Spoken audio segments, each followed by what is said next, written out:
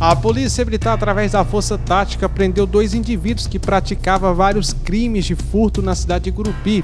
Os meriantes usavam uma moto para efetuar os roubos na cidade de Gurupi.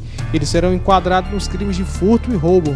Quarto Batalhão da Polícia Militar, através da equipe de Força Tática e equipe do comando, prende dois indivíduos autores de roubo na cidade logo após o fato.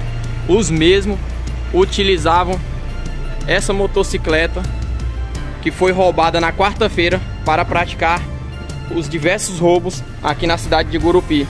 Os indivíduos foram apresentados na central de flagrantes da Polícia Civil de Gurupi e agora vão ficar à disposição da Justiça para os procedimentos cabíveis.